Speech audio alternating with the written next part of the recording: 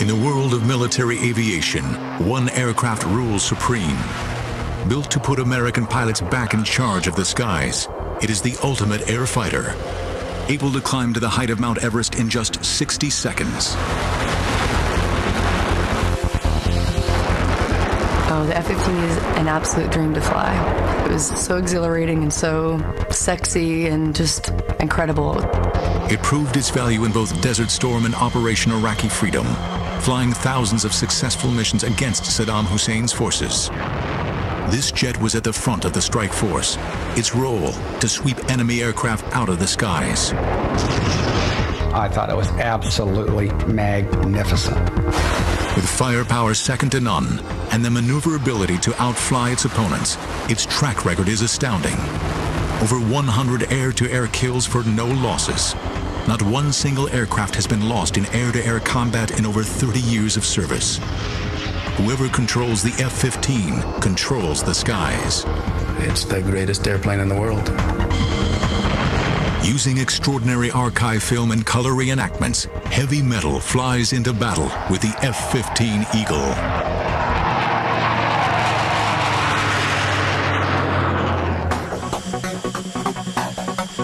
January 16, 1991, Operation Desert Storm.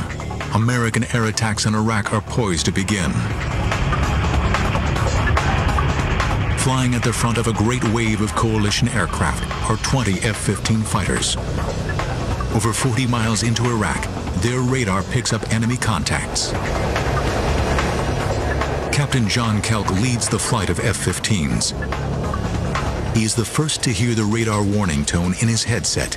Enemy fighters are targeting his plane. You got someone locked, interrogate. Bandit, bandit. Kelk is not sure the aircraft ahead are hostile. But as the jets close in at over 1,400 miles per hour, the F-15 pilot must decide should he shoot to kill. His radar shows a fighter flying aggressively towards him, so he prepares for combat. Closing his eyes to protect his vision from the anticipated explosion, he slams the pickle button on his stick, launching an air-to-air missile. Seconds later, an orange explosion lights up the night sky. Kelk has become the first American to score an air-to-air kill in the F-15. 30 years of planning have finally paid off. But the F-15 story begins decades earlier, deep in the Cold War years. In 1951, the Korean War is raging. American F-86 Sabre pilots fight pitched battles with Russian MiGs. These American pilots first learned their dogfighting skills during the dark days of World War II. In Korea, they achieve an alleged kill ratio of 10 to 1 against the Soviets.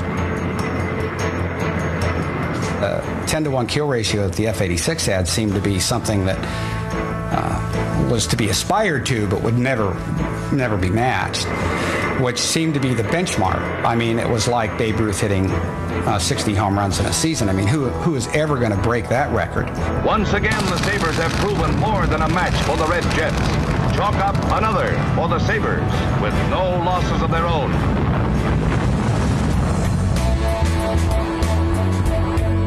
By the Vietnam War, U.S. Air Force fighter pilots are flying F-4 Phantoms against a new generation of Soviet-built MiGs. USAF planners decide the new aircraft should fight at great distances using guided missiles. They believe the age of the dogfight is over. But missiles don't always find their targets. In fact, only 14% of the first AIM-7 missiles ever hit anything. And when the Phantom's missiles fail, the fighter is left completely defenseless. The F-4 has no gun. A fighter that doesn't have weapons isn't a fighter. And um, the, the issue with the F 4 in Vietnam, though, was that the Sparrow, the radar guided missile, and the Sidewinder, the heat seeking missile that the airplane carried, were designed to be shot against large bomber sized targets at high altitude. When you take a system designed, optimized for that, and then employ it against small fighter sized targets, highly maneuvering at lower altitudes, the results are uh, not pretty, and they weren't pretty for us. Soviet MiGs flown by Vietnamese lure F-4s in close, knowing they are soft targets. But the American pilots are not trained to dogfight. That knowledge from World War II and Korea has not been passed down to this generation of fighter pilots. The training that I had to go to Vietnam was abysmal. And uh, new pilots that came into their organizations that were supposed to be there to go fly air to air and uh, dogfight with the MiGs, uh, the training was not even as good as abysmal. It was just, in fact, non existent. The American F-4s and their pilots are left dangerously exposed.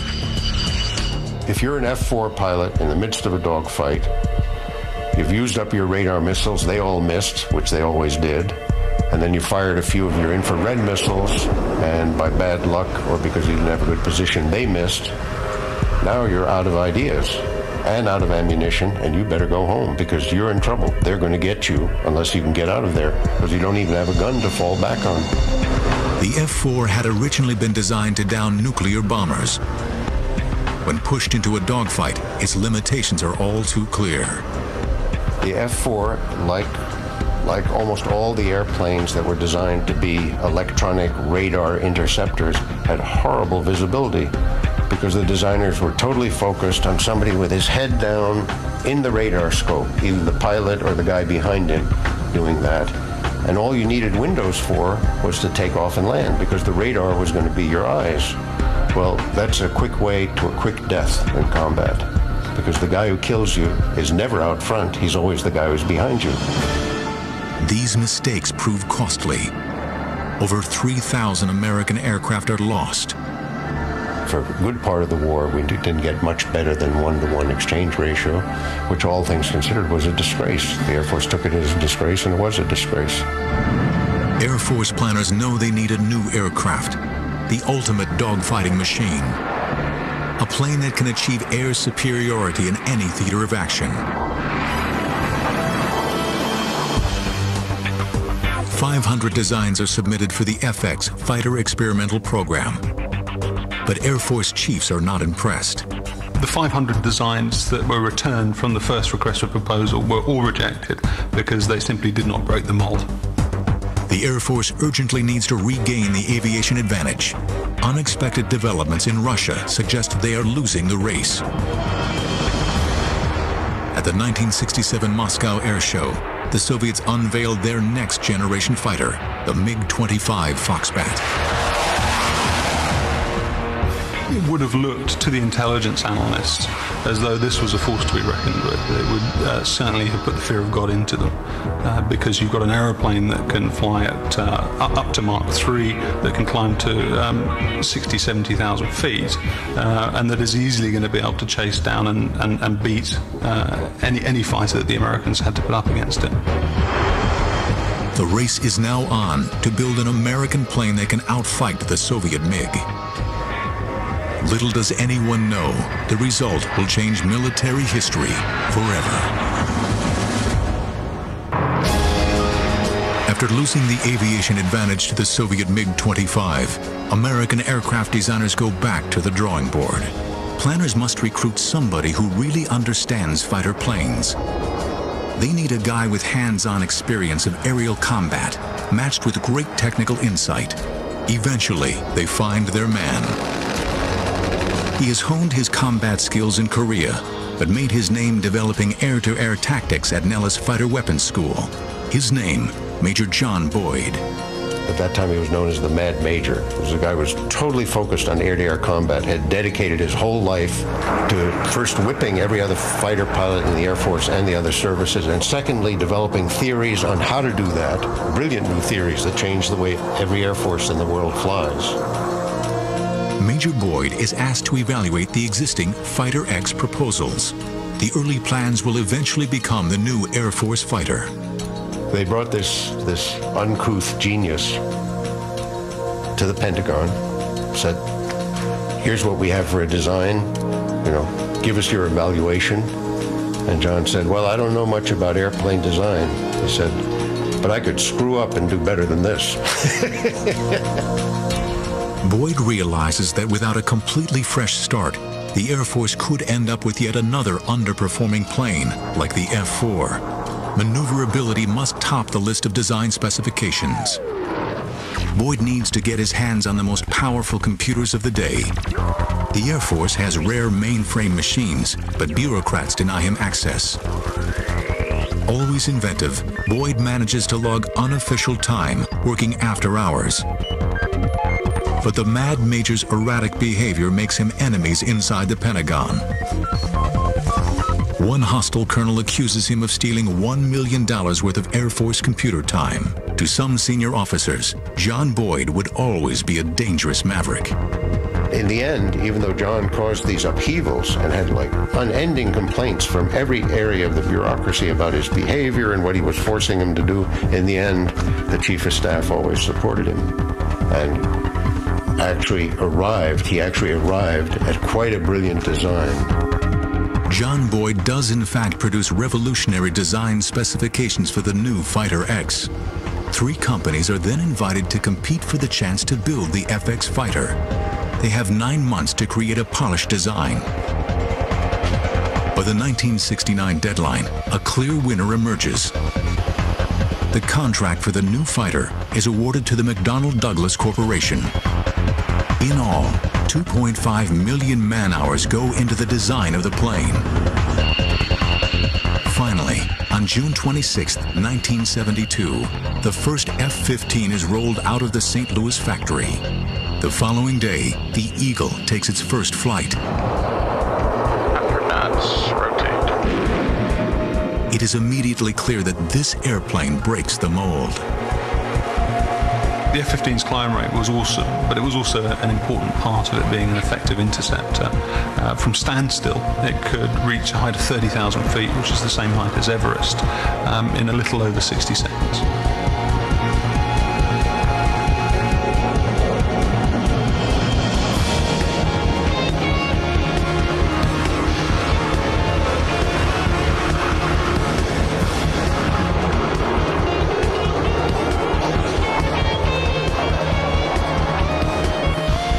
There has also been a revolution in the cockpit. Equipment is designed to free a pilot from distractions. Whether attacking or defending, a pilot must stay focused on the enemy, not the aircraft's instruments. One radical new design is intended to simplify flight displays. It's known as the HUD. A HUD is a heads-up display, and it helps us in so many ways because we don't need to look down for any information. Uh, everything that we do and everything that we need to see is right there in front of us. You got your altitude, you got your airspeed, you've got your Mach number, your G's available, the G's that you're actually pulling, what mode you're in, whether you've got a shot on somebody, if you're trying to shoot him with a missile, whether or not you're ready for a bomb to come off. Everything that you need to see is right there in front of you, so you don't have to look anywhere else for it. While the HUD projects information onto the canopy, the hands-on throttle and stick, or HOTAS system, means a pilot should not have to look down to fire weapons. Something crucial in the heat of battle. HOTAS was designed uh, to make it easier on the pilot to be uh, more efficient in the cockpit. With HOTAS being that quick and easy to change from different modes, it, it definitely means a matter of whether you kill your bandit now or you get killed. I think that having the HUD and having HOTAS definitely makes it more strapping the fighter onto you. You become one with the fighter.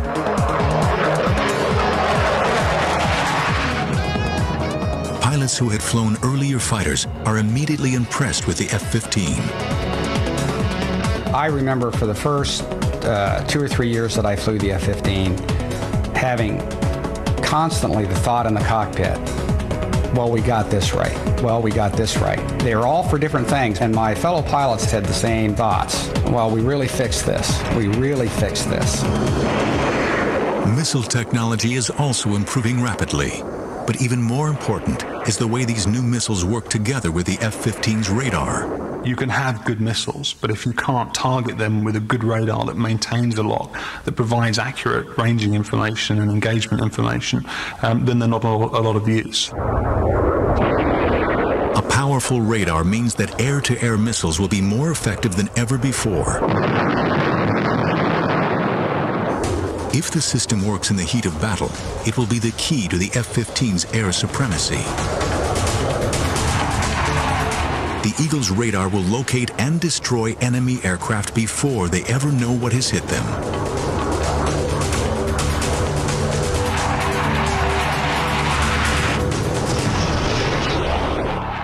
To Dick Anderegg, this system was a revelation. In my F 15 checkout, I remember flying home and telling my instructor pilot, who had been in the other airplane, um, I have over 2,000 hours in the F4. I have a combat tour in the F4. I have two tours as a fighter weapons school instructor in the F4. I have just flown my seventh ride in the F 15. I was never as lethal in the F 4 as I am right now after seven flights in the F 15.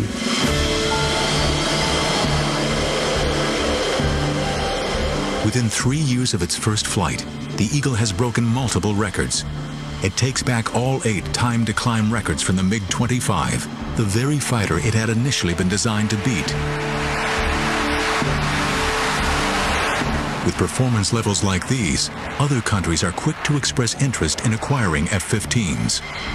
Israel is the first foreign power allowed to buy it, and the experience of one Israeli pilot soon proves how durable the F-15 can be. Captain Zivi Nedivi experiences a pilot's worst nightmare when a training exercise goes horribly wrong. He is flying a simulated airfield defense mission and is tasked with intercepting hostile aircraft when disaster strikes. I saw what in hindsight was the number three, which is the leader of the second, the rear pair. And he was upside down. And I, I was at around 13, 14,000 feet and I shot a missile. He was upside down, he continued to go up. And I was like this, so it was stomach to wing. We couldn't see each other. And uh, we collided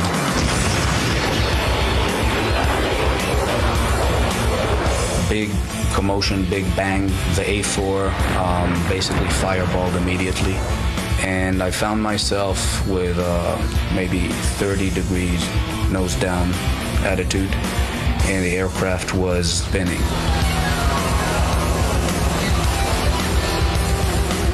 Right after the crash, I told my navigator, prepare to eject, we're going to eject.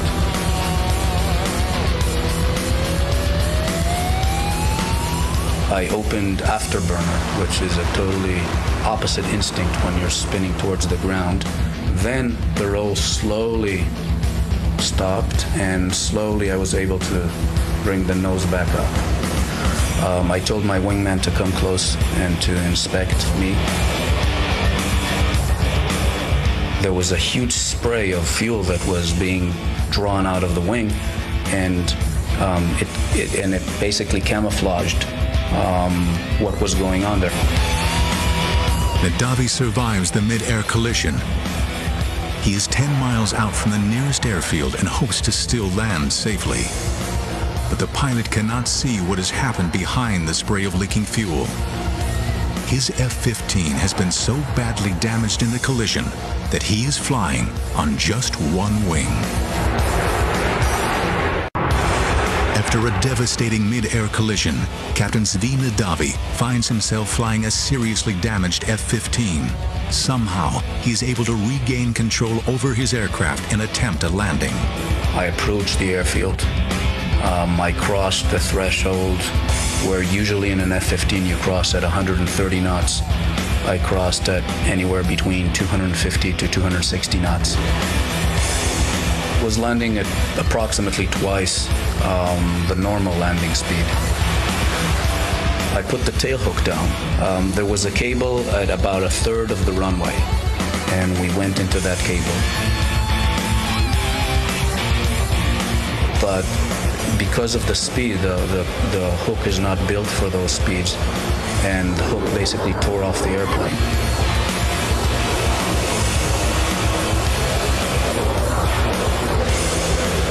we stopped maybe 20 feet short of uh, the barrier. As I was running at the last 50 knots, um, bleeding off, the, my wingman said, You're not going to believe what you flew on. And I opened the canopy and I reached back to shake the hand of the navigator. And as I was reaching back, that was the first time that I looked and I saw that I didn't have a wing um, on the right hand side. It's highly likely that if I would have seen it clearly, I would have ejected because it was obvious you couldn't really fly an airplane like that. I don't think any other aircraft could have taken that amount of damage or that portion of its its uh, flight surfaces removed and continued to bring us home safely.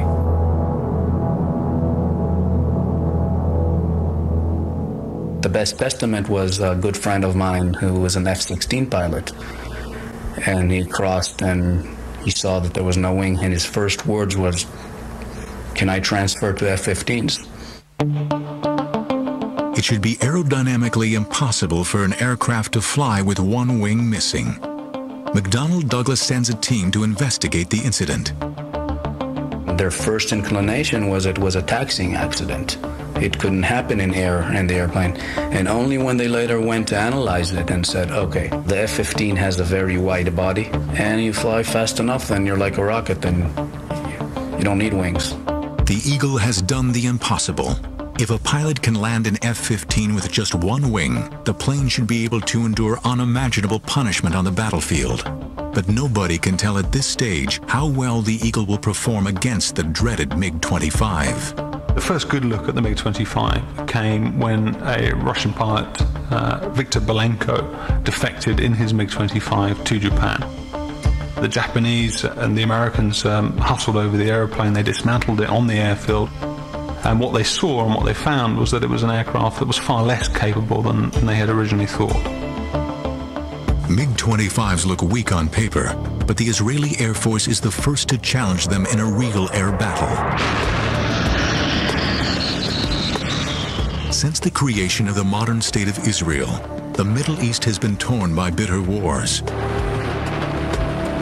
One such conflict breaks out in the late 70s as Israel and Syria vie for control over Lebanon.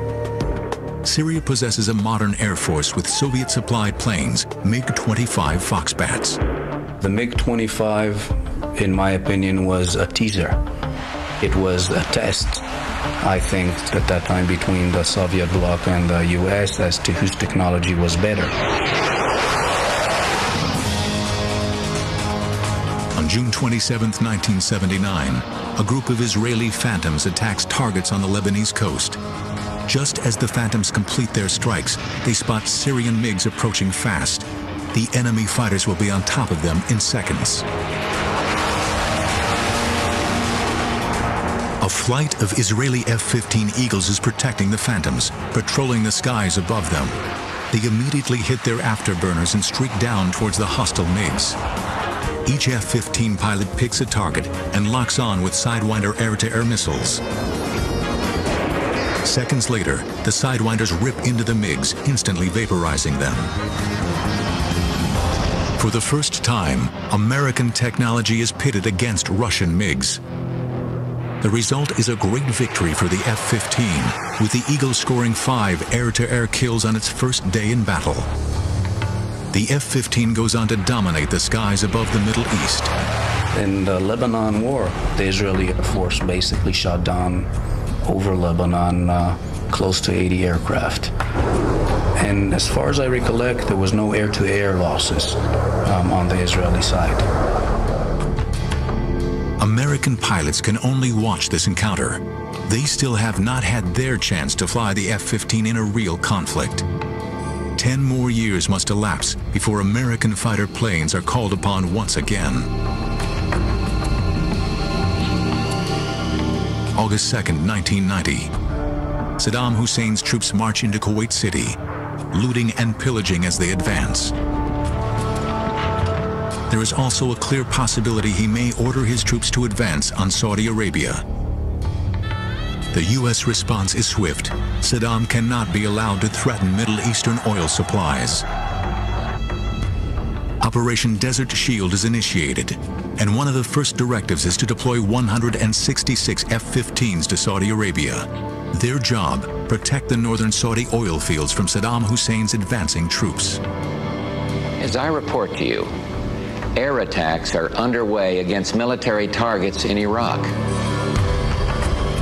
The F-15 will be critical to the success of the Desert Storm air war. But American F-15 pilots have not yet flown in combat. This is their chance to prove they possess the right stuff.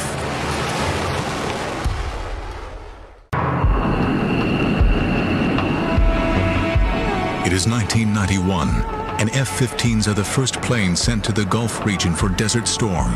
Their job, halt Saddam Hussein's advance and help liberate the people of Kuwait.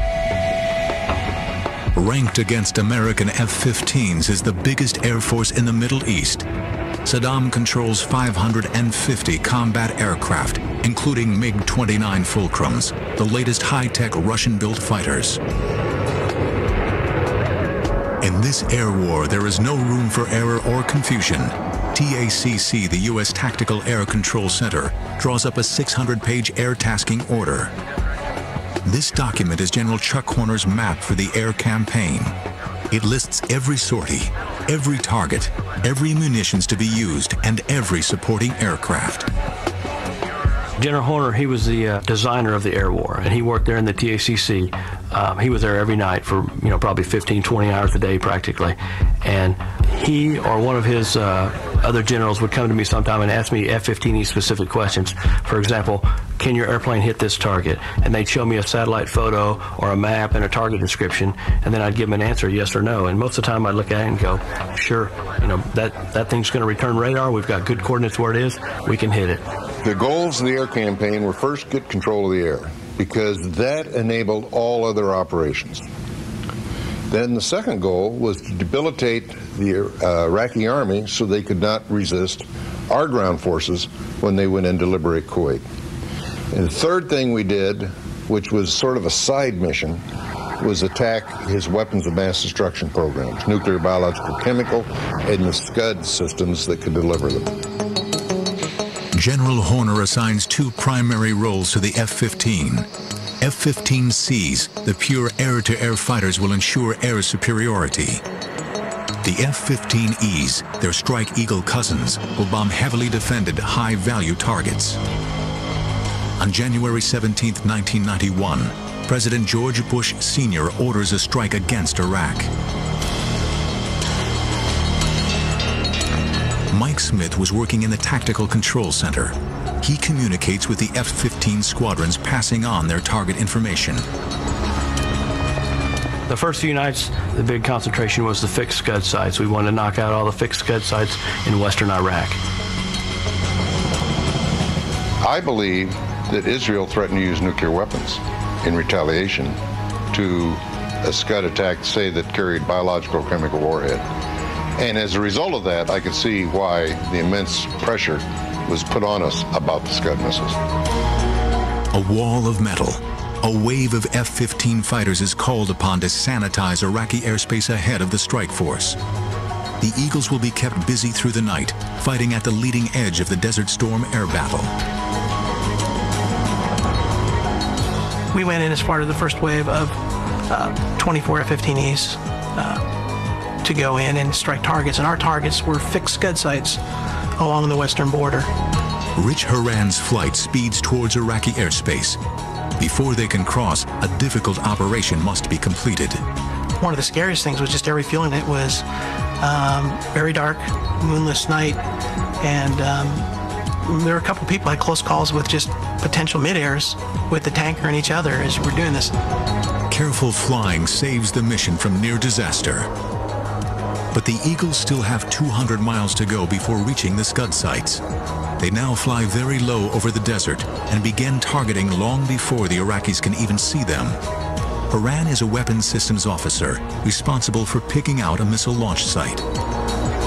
We're about 12 miles out from the target, and, and the conversation is, this isn't so bad. These guys are asleep. And about that time, all hell breaks loose. What all hell happens to be is number one's bombs have gone off and the Iraqi anti-aircraft gunners react to the bombs going off and the sky is filled with AAA. It is the most impressive fireworks display I've ever seen, which is somewhat the conversation I'm having with the guy I'm flying with. And then the realization that really what I'm looking at is every third to fifth bullet is a tracer. And then it dawns on me the reality of the situation and the fact that they mean us bodily harm. But Horan stays focused on his radar, successfully identifying the Scud launch site. What I saw was fixed site, and as we turned in on the FLIR, our forward infrared scope, you can actually see a TEL with a missile on it that, the, that our designation is on. We drop our bombs and come off target. As they come off target, a mighty explosion rocks the Scud site. Horan and his pilot now rejoin the other F-15s. All 24 have made it safely through the target area, but they are still deep within Iraqi territory. Suddenly, a new threat appears on Horan's radar. Could this be one of the feared MiG-29s? And you can see it flying parallel, offset by several miles to our string of airplanes, and then you see it what is obviously him running an intercept on our aircraft. We lock him up to let him, for his radar warning receiver, to let him know that he is being looked at, um, and sort of point at him hoping to get a reaction or to potentially employ our, our AIM-9 missile. And then he essentially turns away. The Iraqi pilot seems reluctant to attack a large flight of F-15s. Or is he just waiting for the best opportunity to strike? At night, I never said I'd be looking behind me, but I was practically unstrapped, standing on the back of the seat, looking to see if this guy was going to run an intercept on us. And probably about a minute or so later, there's a gigantic fireball and which I believe is his aircraft that's actually hit the ground. Lacking the F-15's night flying abilities, the Iraqi pilot probably lost control and flew into the desert. It is a decisive night for the American F-15s. The Strike Eagles fought their way in and destroyed their targets, while the air-to-air F-15 C models bloodied their talons, shooting down six Iraqi aircraft the F-15 pilots scored the first air-to-air -air kills from an American Eagle with the opening rounds of Desert Storm. Many Iraqi pilots realize they cannot win and attempt to escape with their planes to Iran. It is a short hop to the safety of the Iranian border, but coalition forces are always vigilant On one patrol, Lieutenant Colonel Thomas Dietz spots several Iraqi aircraft making a break for Iran. We were given a heads up by the AWACS controller that some Iraqi aircraft had taken off from an airfield north of Baghdad. We got within range to shoot at them. We shot before we got into visual range. The initial missiles that we fired were unsuccessful. So we wound up uh, essentially rolling in behind these four Iraqi aircraft about a mile and a half behind them, shot them with heat seeking missiles. This new generation of missiles has a very high accuracy rate, and Dietz is astonished when he sees his shots miss the Iraqi planes. I could see the warheads detonate from the missiles, and then the Iraqi aircraft continued to fly. And I was figuring maybe I was snake bit here that uh, got into such a position and the missiles didn't seem to work. Well, I probably had temporal distortion because just a few seconds later, a little flame started trickling out the back of the aircraft on the left, and then flame trickling out the back of the aircraft on the right. And just a few seconds later, huge fireball followed by the second aircraft doing the same thing. Uh, at that point, uh, I was just about to pronounce myself the world's greatest fighter pilot, at least in my own mind. Uh, when I thought maybe I ought to look around and see if there are other Iraqi aircraft flying around. I remember as I started looking to the left, uh, um, right there, not far from me, within a half mile, was an Iraqi aircraft that uh, had his nose pointed out in front of me, which made me initially think oh, this guy could shoot me with a gun. Captain Dietz is now dangerously exposed. Could this Iraqi fighter blast him out of the sky? Having shot down one Iraqi fighter, Thomas Dietz then spots another flying straight towards him. He needs to react, fast. The enemy might open up with his gun at any second. So in my mind began uh, going over the maneuver I'd have to do to defeat this this threat is when I realized that this was just the front half of an Iraqi aircraft. There was a bunch of flames streaming out the back. The canopy was gone, indicating the pilot had ejected. And I looked over, and there's my wingman uh, behind that aircraft, and he had shot that down. This pattern of successful shoot-downs repeats itself throughout the Gulf War the Iraqi Air Force, I think they were finished in the first two or three nights. The F-15 was very effective at sweeping them out of the sky. And if they had any airplanes, they weren't flying them. Only two F-15s are lost during Desert Storm, a testament to the skill and training of the Eagle pilots. They fly an amazing 2,400 missions and ensure that the Iraqi Air Force is largely confined to the ground. The F 15 definitely proved itself in the Gulf War. I think it had a reputation before the Gulf War of being a force you did not want to reckon with. Uh, coming out of the Gulf War, that reputation was clear in everyone's mind worldwide. Kuwait is liberated and Saddam subdued, but the power struggle in the Gulf region is far from over. The United States Air Force continues to fly over Iraqi airspace on Operations Northern and Southern Watch. For 12 years, they keep a careful eye on Iraq's military activities. Then, suddenly on September 11, 2001, everything changes.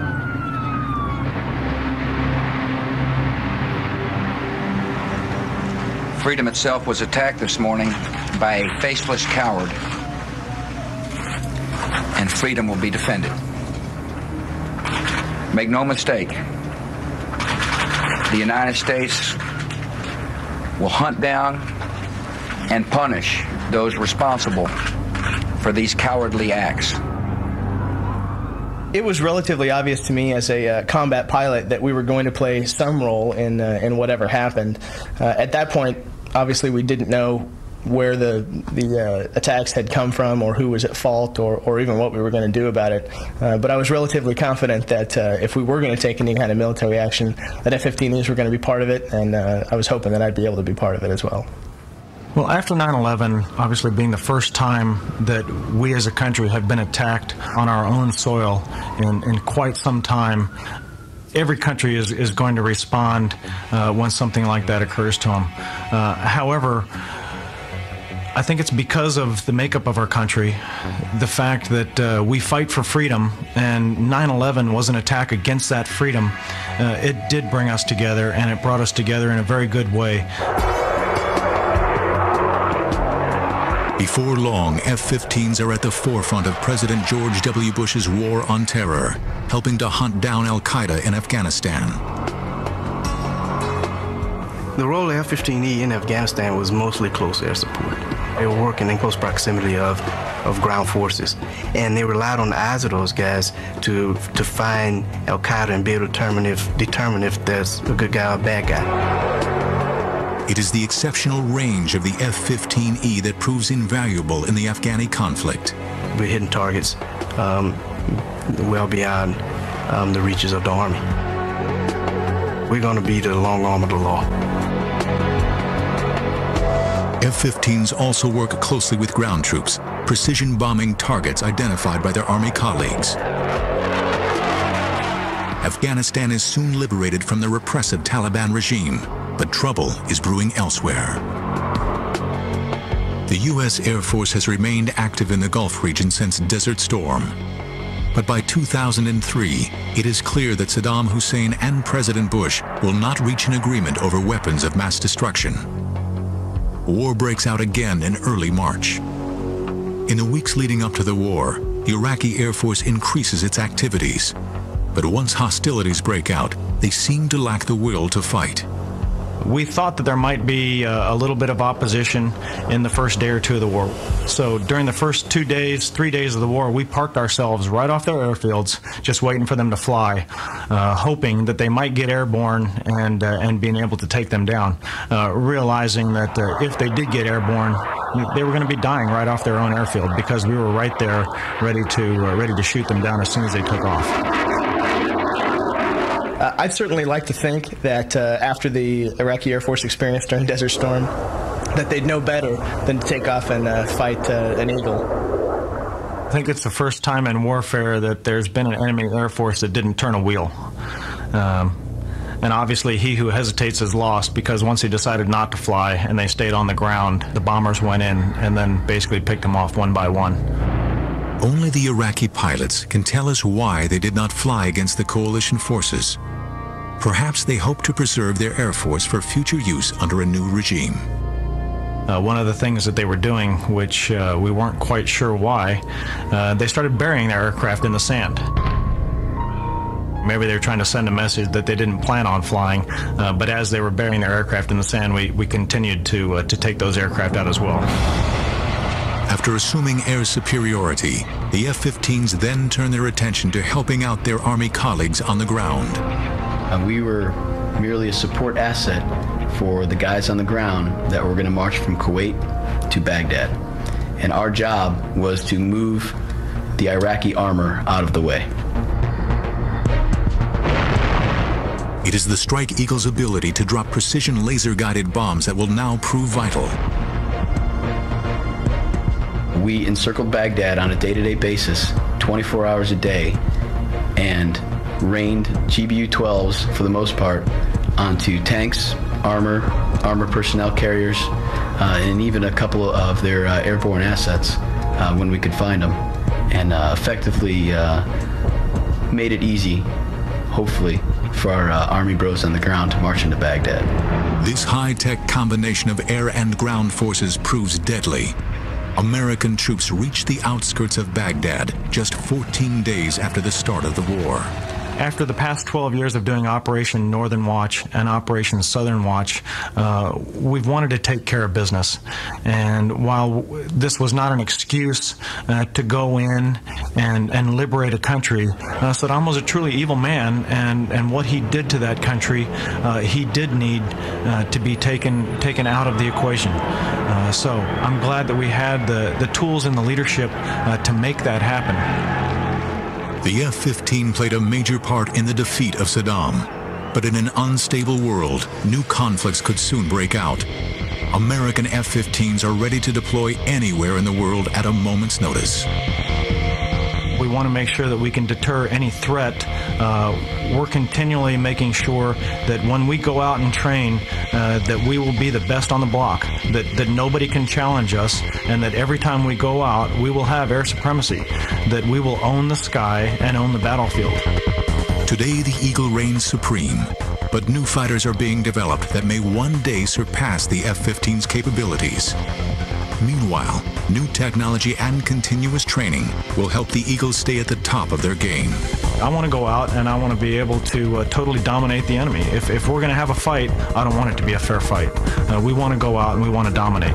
And that's why uh, we train as hard as we do uh, to make sure that we can maintain that perfect record of 104 to nothing. As a fighter pilot, you'll you'll never admit that there's anybody better. Uh, and as an American fighter pilot right now, I don't think there's anyone that can say they are. But our whole thing is uh, when we go out, we expect to win. The record of the F-15 air-to-air kills for not a single loss is unrivaled. It seems no other Air Force can challenge the Eagles today. The kill ratio of the F-15 is beyond uh, the kind of thing that you would ever think possible. I mean, surely someone would make a mistake or someone would just blunder out in front of an, another airplane and get shot down just because it wasn't his day. But the experience of the Israeli Air Force and the U.S. Air Force with the F 15 in combat is uh, magnificent.